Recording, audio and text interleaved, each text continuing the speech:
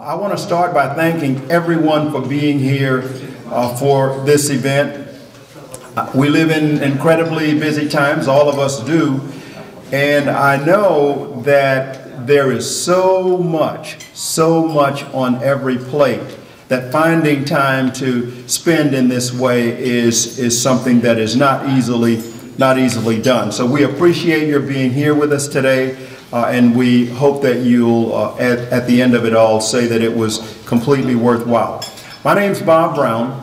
I'm the managing director of the New Orleans Business Council, uh, and I'm extremely proud for my organization to be partnered with the Committee for Economic Development in bringing you, for the second time now, for the second time now, a very, very uh, interesting and critically important conversation. Just more than a year ago, the Business Council and the Committee for Economic Development teamed up for a similar serious discussion uh, about the nation's debt crisis.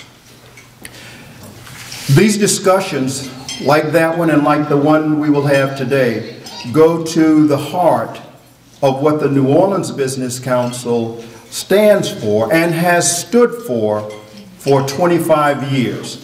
And that's speaking with integrity and a principled voice to frame public policy issues, to foster a highly competitive business environment, and to enhance the opportunity for success for all businesses of all types.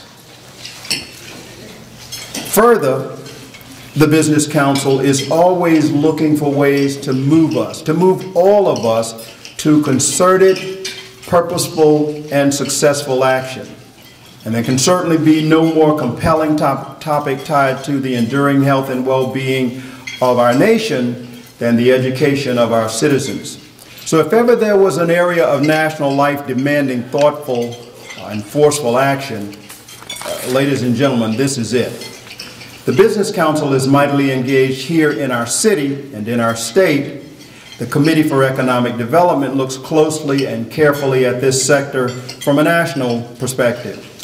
And today, we'll be examining together that critical nexus between those who educate and train, particularly at the community and technical college level, and those who employ, motivate, support, and promote the rich landscape of businesses needing able and productive human capital. So please prepare yourselves for an important dialogue.